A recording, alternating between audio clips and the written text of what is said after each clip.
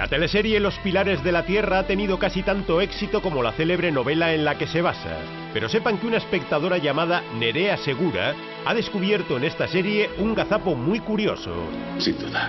La serie y la novela tratan sobre la construcción de una catedral en Inglaterra en el siglo XII.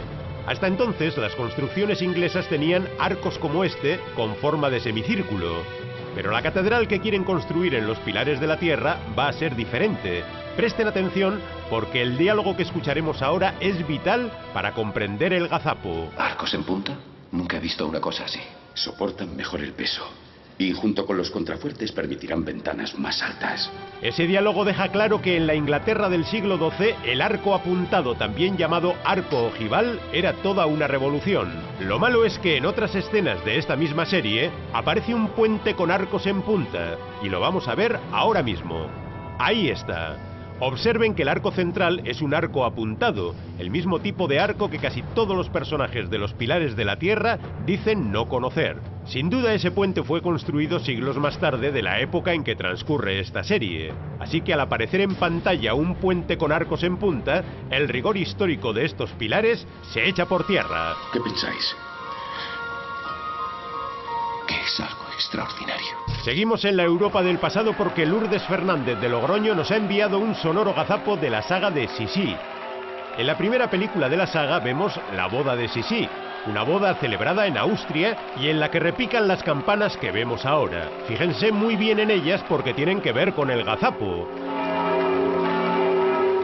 Y ahora estén atentos a Sisi Emperatriz, la segunda película de la saga. Aquí estamos viendo la coronación de Sisi y de su marido, supuestamente en una iglesia de Hungría. Pero cuando repican las campanas, resulta que son las mismas campanas de antes. Ahí las tienen. Y eso que ya no estamos en Austria, sino en Hungría.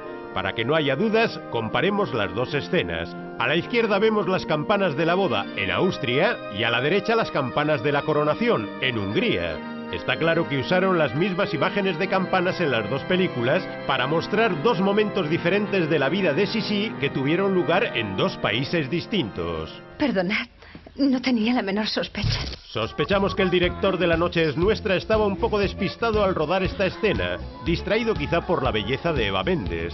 Y es que un espectador llamado Alberto Bravo ha descubierto que al director de esta película se le coló un gazapo relacionado con las medias de la actriz.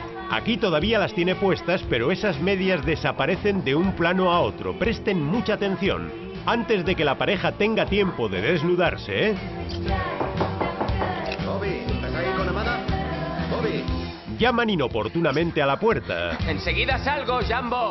Y solo un instante después, cuando volvamos a ver a Eva Méndez de cuerpo entero, la actriz ya no llevará medias. Véanlo. Soy el tío con más suerte del planeta. Me importaría morirme ahora mismo. Ante una belleza como Eva Méndez, el despiste del director casi se comprende. Y además, el gazapo de las campanas de Sisi nos parece más escandaloso que el de La Noche es Nuestra. Por eso, Lourdes Fernández de Logroño es la ganadora de una estupenda colección de películas por el gazapo de Sisi. ¡Qué emocionante es esto!